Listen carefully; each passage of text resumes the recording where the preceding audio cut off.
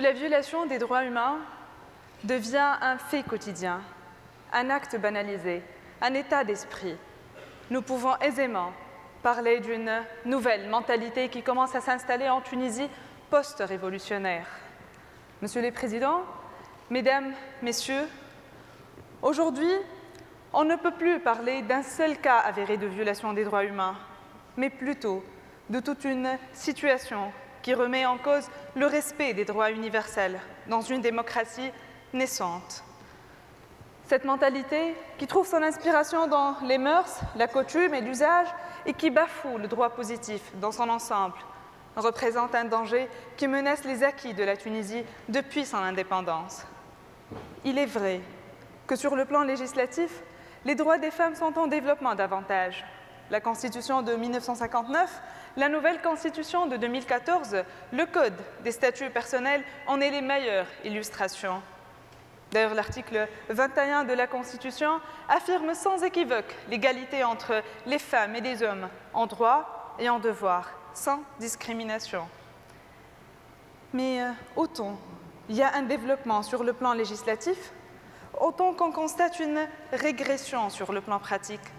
Et à mon sens, le problème se pose lorsque c'est l'État lui-même qui transgresse cette règle et élève la discrimination au rang d'une norme par ailleurs, l'article 24 de la Constitution stipule que, et je cite, Tout citoyen a le droit de choisir son lieu de résidence et de circuler librement à l'intérieur du pays, ainsi que le droit de le quitter.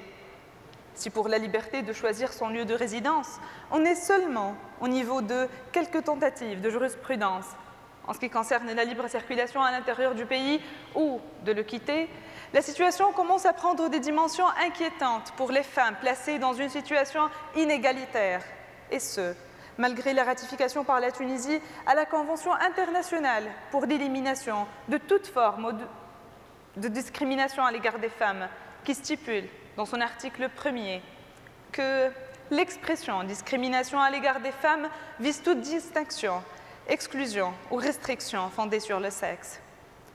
Mesdames, Messieurs, Leïla, qui est médecin, a été arrêtée un soir d'été alors qu'il faisait 40 degrés, conduisant sa voiture à deux pas du centre de la capitale, non loin de l'avenue Habib Bourguiba, dans lequel, cinq ans en arrière, des milliers de Tunisiennes et Tunisiens se sont rassemblés devant le symbole de la dictature pour dire plus jamais ça.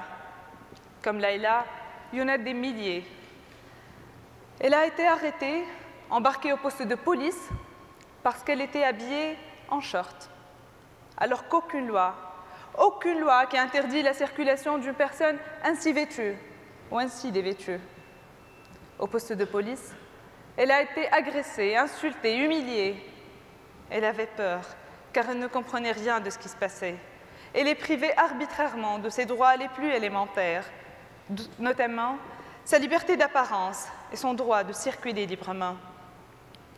Il est à peine besoin de rappeler qu'un agent de police est un fonctionnaire public qui a pour rôle principal de garantir la sûreté publique et de veiller sur la bonne application des lois et non à les interpréter. Il n'est ni censé donner des interprétations farfelues au texte de loi, ni mettre en place ses propres règles. Il doit simplement veiller à la bonne application des textes, surtout que la CEDAW, qui a été adoptée par la Tunisie, invite ces États partis à s'abstenir de tout acte ou pratique discriminatoire à l'égard des femmes. Malheureusement, l'agression ne s'est pas arrêtée au poste de police. Elle s'est poursuivie sur le plan médiatique. Leïla a été soumise à un jugement de valeur où les seules questions posées consistaient à savoir si ses parents lui avaient permis de sortir de chez elle avec cette apparence. Leïla est aujourd'hui considérée comme une fille de mauvaise conduite, coupable, qui mérite, d'être condamnée pour atteinte à la pudeur et aux bonnes mœurs, tout simplement parce qu'elle portait des vêtements qui ne plaisent pas à certaines mentalités. En principe, la libre circulation des individus est prévue pour l'ensemble des citoyens, mais aujourd'hui, une exception est établie à l'égard des femmes, la libre circulation des femmes a été malmenée sous un prétexte sécuritaire et à cause de cette vague notion relative au terrorisme.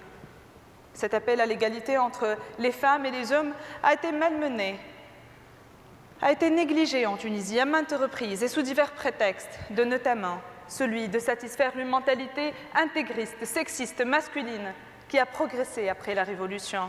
Et ce n'est pas les exemples qui manquent. Nous examinerons un autre exemple qui reflète à quel point cette mentalité affecte même le pouvoir judiciaire. Mesdames, Messieurs, un juge accepte la demande d'un époux souhaitant interdire à son épouse accusée d'adultère de quitter le territoire tunisien. Une telle attitude de ce juge zélé heurte des principes de base de notre système judiciaire, à savoir la présomption d'innocence, l'égalité entre les citoyens et les citoyennes, et notamment l'article 24 de la Constitution. Pendant l'étape de l'interrogatoire, et avant de permettre à la défense de jouer son rôle, le juge interdit à Inès de circuler librement, de voyager. Ces décisions est contraire aux lois en vigueur sur la forme et sur le fond, ce qui la rend nulle. Pour ce qui est de vice de forme, l'article 15 relatif au passeport et aux documents de voyage prévoit que l'interdiction de voyage ne peut avoir lieu que par l'autorisation du tribunal de première instance et sur demande de l'administration par l'intermédiaire du ministère public. Cette procédure n'a pas été respectée dans le cas d'Inès. Pire, le juge justifie sa décision par un attendu qui me laisse sans voix. Attendu, dit-il, que sur la demande de l'époux réclamant l'interdiction de quitter le territoire pour sa femme accusée d'adultère, nous décidons d'interdire à Madame Inès de quitter le territoire tunisien. Monsieur le juge, vous êtes d'abord et avant tout censé être impartial, guidé par la recherche de la vérité afin de permettre au tribunal de rendre sa justice. Vous n'avez pas à évaluer les valeurs de la personne, ses mœurs, ses attitudes. L'adultère, un crime moral, un crime trouvant ses origines et ses fondements dans une législation à caractère religieux, un crime qui doit, à mon sens, disparaître du droit positif tunisien, car ce crime ne peut en aucun cas représenter une atteinte à l'ordre et à la sécurité publique. Ce constat est renforcé par la possibilité donnée aux plaignants par l'article 236 du Code pénal de suspendre ou d'abandonner les poursuites pénales. L'interrogatoire est une étape pendant laquelle on ne peut être jugé comme coupable avant d'avoir été jugé par un tribunal et dans le cadre d'un procès équitable. Malgré cela, Inès, qui est normalement innocente jusqu'à preuve du contraire, n'est non pas jugée par un tribunal et dans le cadre d'un procès équitable, mais est victime d'un jugement de valeur, mais est victime d'un jugement personnel, subjectif et moral émanant d'un seul juge ayant abusé de son pouvoir. La question qui se pose, est-ce que la Tunisie, le pays qui adopte les déclarations universelles des droits de l'homme, la CEDAW, peut-il être considéré comme respectueux des libertés et de la bonne application des lois? La réponse est non. Un juge qui statue arbitrairement, qui se permet d'écarter les conventions internationales, la Constitution, les lois, le devoir de neutralité et d'indépendance, la présomption d'innocence. Un juge qui s'octroie le droit de décider arbitrairement avec une mentalité misogyne pour ne prendre en considération que des idées préreçues qui n'ont rien à voir avec la loi alors qu'il est là pour l'appliquer, est une aberration qui nous envoie un message selon lequel la Tunisie a encore un chemin très lent devant elle. Inès est considérée comme coupable alors qu'aucune preuve n'a été retenue contre elle, alors qu'elle est bel et bien innocente jusqu'à preuve du contraire, conformément à l'article 11 de la Déclaration universelle des droits de l'homme. Et malgré cela, Inès est privée de son droit d'aller et de venir, de voyager, sur la base d'un simple soupçon. Elle est privée de l'un de ses droits fondamentaux et universels. J'accuse. J'accuse ce juge de ne pas avoir appliqué la loi, de ne pas avoir respecté les droits des citoyens, d'avoir violé les règles, et ce, en ayant rendu une décision subjective. J'invoque, dans ce cadre, le pacte international relatif aux droits civils et politiques, stipulant dans son article 14 toute personne accusée d'une infraction pénale est présumée innocente jusqu'à ce que sa culpabilité ait été légalement établie.